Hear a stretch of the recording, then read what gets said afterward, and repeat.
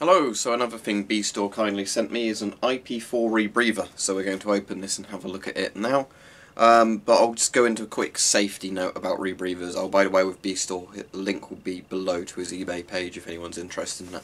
But a safety note with rebreathers. Now, if you're going to use a rebreather, you need to be trained to use a rebreather, because there's lots of things that can go wrong with them. So obviously, you know, you have to actually have properly trained qualifications. You don't have to, but you're putting yourself at risk if you don't. Also, if you're going to use a rebreather, you should use a very modern rebreather that's had all the safety checks done on it and stuff, and not surplus rebreathers. Now, obviously, you can buy a rebreather like this and use it if you want to, but it's highly recommended rebreathers are used like this, are just used as sort of display pieces or interesting things. You know, so I'll be showing you the rebreather, but I'm not going to mess about with the CO2 scrubber in them. For those of you that don't know how rebreathers work, it's pretty simple in a way. Basically, you're breathing out and in of a conversion chamber. The conversion chamber, the CO2 scrubber, scrubs CO2 from the air you breathe out. So when you breathe out, you're breathing out nitrogen, uh, carbon dioxide and oxygen. Um, but there's more carbon dioxide and oxygen. So what the scrubber does is it takes the CO2 out, so the oxygen is essentially being recycled. Now, the big issue is with rebreathers is eventually it will get to the stage where there's not enough oxygen for you to carry on breathing safely, um, but you won't be able to realise you're suffocating because there's not actually um, CO2 in the air you're breathing back in, meaning that you can obviously suffocate without realising it. So, that's why people with rebreather training are needed, so they actually know, you know, there's signs they can tell of when the air's getting too thin, um, but anyway, like I won't keep going over the safety stuff because I've talked about rebreathers before, but I just do really want to stress that if you're going to buy a rebreather, you might want to kind of pay attention to how they work and everything before messing about with it. So anyway, here's the rebreather. What I'm going to do is open this up. Okay, so what I'm going to do is just pan the camera down so you can see everything. Okay, here we go. So let me tuck this behind. So what we have right at the top is the CO2 scrubber. This is this giant canister here.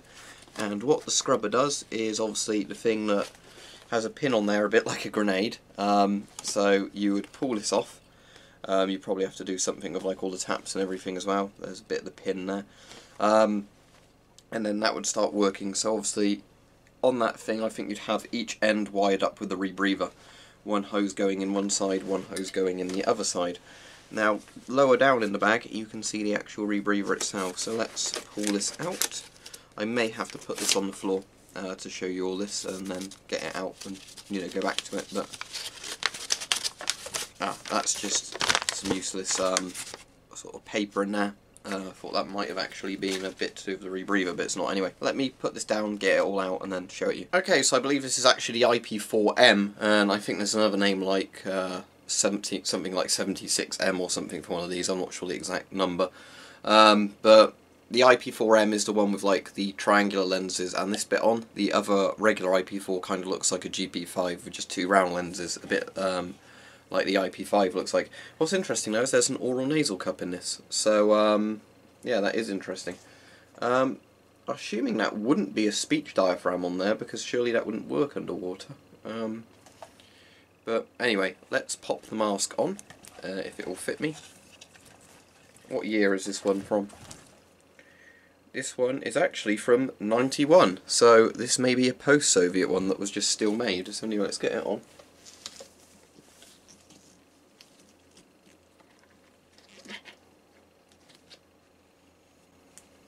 So at the moment I can actually uh, just breathe through the pipe. Um, obviously this is not a gas mask like Ghost Fred on here. This is simply uh, a thing like that. Yeah, I think that's just a voice diaphragm in there because at the moment there's, there's definitely no exhaled air coming out. So, how this would work, uh, if we get the rebreather bag again in a moment, is I'm assuming as you see, it pressurizes fine, like it would have to being a rebreather. What I'm assuming would happen is that, um, uh, just a side note, this reminds me a lot of the PMK, but it's like a PMK with an oral nasal cup in it, as you can see, so it's actually a good version of the PMK. It's also a bit like an M9 in some ways. So anyway, Uh, I'll get the setup bag and we'll see if we can work out how it plugs together. But as said, I'm not going to actually plug anything together and pull the pin because um, you really don't mess about with rebreathers unless you're trained to do it. Okay, in the bag I also found some outserts hidden in there and uh, the manual. So let's have a look at the manual. Is there any pictures in it? Okay, there's some signed documents in here. Uh, so yeah, uh, first we've got an introduction kind of it. Then we've got a lot of the actual rebreathers, uh, technical stuff I get. There's some like stamped and signed documents, I guess, when they did a safety inspection on it. More Cyrillic, uh, like a logbook bit for it. Another logbook bit. And that's it, right. Let's see if I can get the outserts on it. Okay, just to show you quickly, there's the rebreather with the outserts on. I assume that's just to give it some lens protection when underwater or you're using it like most outserts are for. Um, so yeah, that's quite a goggly-eyed respirator now, or rebreather even. Anyway, so let me get the satchel over, and then we can see if we can figure out how it all connects up, because there's actually a bladder as well um, with the rebreather inside the bag. So let's have a look at all of this and work out if we'll see if we can work out how it all connects up. So you've got your pouch here which I guess is just to seal it so I don't think there's anything interesting in this section of the pouch. Then you can probably see there that the bladder for the rebreather is underneath that canister. Now I can't actually see that connected physically to the canister so I'm not sure how you'd um, sort of do that all into it. Uh, if we look underneath the uh, bladder in there you can see that there's nothing actually else hidden in there so I think in that section uh, it looks like there might be a clasp to release the um, scrubber unit from the system. So let's do that. Yeah here we go. That lever there uh, is what's used to open this bit up. So flick that down push that in, lift it up, the band comes off. Okay, here's the scrubber unit. So, I'm assuming something to do with the pin up there and that plunger is how you'd activate it. This is from 91 as well, the uh, scrubber unit. It's fairly heavy a scrubber unit actually. Um, so it might look like a coffee can filter, but it's really not. This is actually a CO2 scrubber. It's quite a complicated piece of technology, really. Um, it says 99 on the bottom, so I don't know if that was when it actually expired. Ah, okay, there's the hose there. So what we do, as I said, and we're not going to do it because I'm not rebreather trained and I don't want to blow myself up or suffocate or poison myself. With the bladder, you would connect the bladder, um, or like obviously the bladder in there, to what I would assume would be one end of the scrubber unit, and I don't know which end because I'm not trained to do it. Um, so, you know, like maybe like that or something, that would connect into the scrubber unit, then the scrubber unit would be back there. Then the rebreather itself would connect to probably that end there. And I'm assuming that when you breathe out, the air passes through the scrubber unit into the bladder. Then when you breathe back in, uh, air passes from the bladder through the scrubber unit again into the rebreather. So that's how I'm assuming it would work. Now what is interesting, and I don't know if this is when they like reactivate these or refill them, you'll notice there's actually a threaded bit there. So whether or not this would work with a gas mask, I don't know. Like, you know, you could also just plug it in as a scrubber unit into a respirator. Um, I got, as I said, I am not going to mess about with a scrubber unit at all because, you know, I know their reputation. Uh, I think Beastoree was telling me that, you know, he's actually been experimenting on one of these scrubber units, you know, trying to put it into volatile conditions to see if anything happens. And he said so far as nothing happens with it, so, you know, um, they're probably not as dodgy as people make them out to be, but as I've said, with rebreathers, please do not mess about with them um, unless you are trained. Obviously, if you are trained and decide you really want to play around with one of these, then go for it. However, if you don't have any rebreather training, probably best to keep it as a really cool looking keepsake.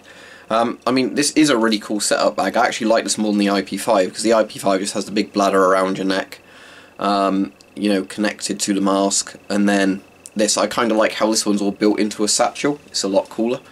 Um, so yeah, this is very cool. So let's see now if I can work out how to reassemble all this and put it back in its bag. Right, let's see if I can figure out how to get this all back together. There's also a plug in the bladder section here, so I'm not sure exactly what that attaches to.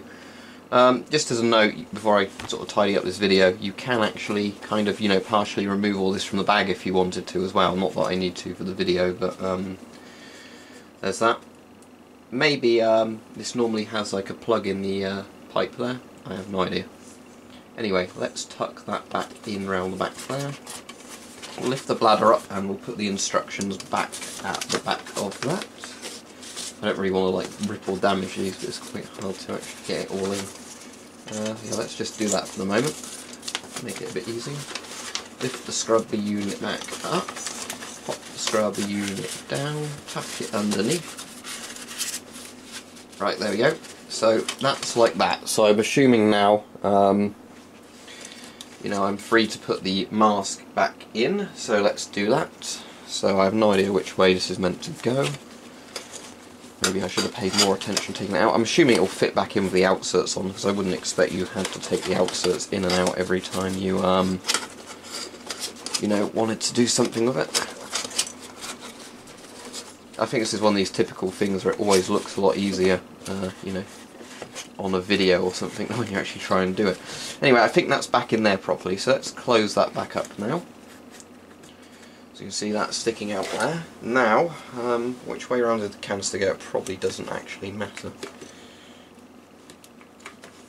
So assume it goes in the middle like that. The metal band comes over it. And then that links into there somehow. Come on. Do I have to move the clasp at all? Ah yeah, so I have to move the clasp, then put the clasp back. Then the rebreather canister is back in there. Now I don't know if that's totally centralised or not. Um, so, you know, there's that. Then you would simply put the bag back over the top.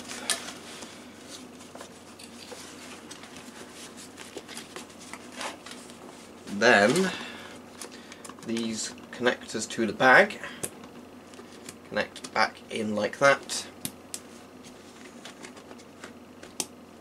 and that